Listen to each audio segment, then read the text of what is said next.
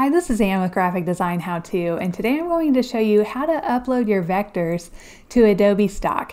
Adobe Stock is Adobe's stock image site where you can download photos or vectors.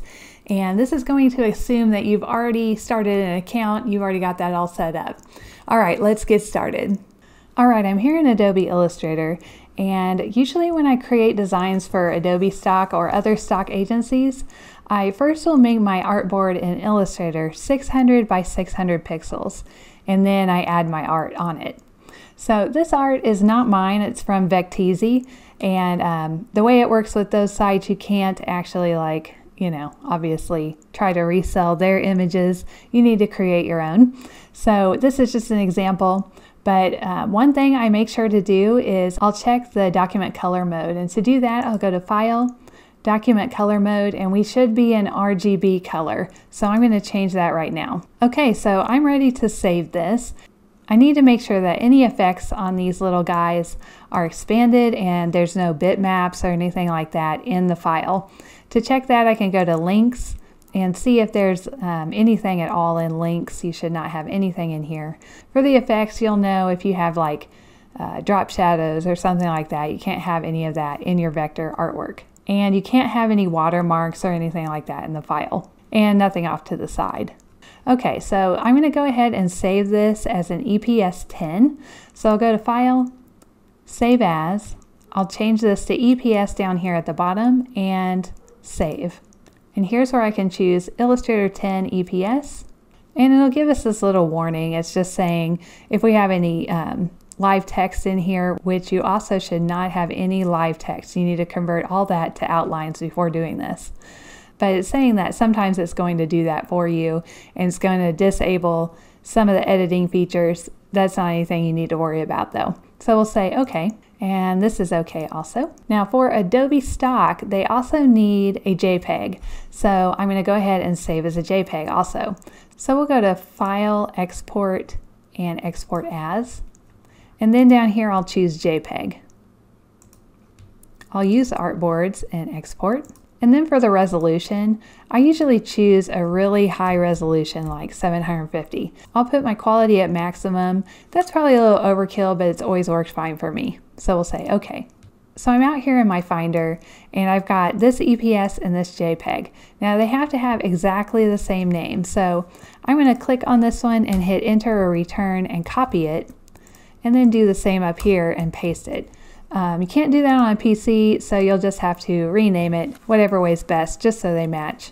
The next step is to select both and compress them into a zip file. So I'll come up here to File and Compress to Items. And that'll give me this archive.zip. This is the file I'll upload to Adobe Stock. Now I'm going to come out here and go to the Adobe Stock website and log in. And now I'm going to click on Sell right up here at the top. And now I can go to Upload and this is where I'll drop my archive file. All right, and now we can fill out our info. Uh, the file type is vector, and then the category is going to be animals for this one. You can look through all the categories and see what best applies. I'm writing my title and keywords in English, and this is not illustrative editorial. You can learn more about what kind of images are right for that category, but usually you're not going to be uploading editorial content unless you're like a celebrity photographer or you're taking pictures of recognizable buildings and stuff like that. So under here, I'm going to put no this is not recognizable. Um, usually your keywords will populate 25 keywords based on Adobe's artificial intelligence. They look at your image and, and try to guess what keywords would be good for this, which is really helpful. For the title, I'm just going to type owls with cute faces and big eyes. Down here are the keywords they suggest for us.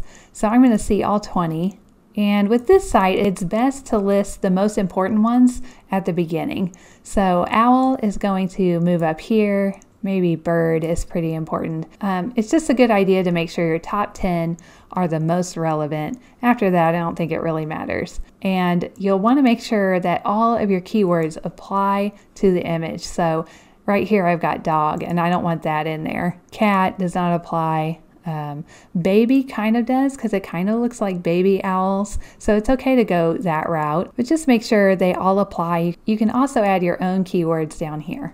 Now, once you're done with all of the information, you would go ahead and choose submit one file and then just submit again. Now, I'm not going to actually submit, but this is how you would do it, and that's the last step. Then you usually wait about a week or maybe a little less time for approval, and then your image will go on the site.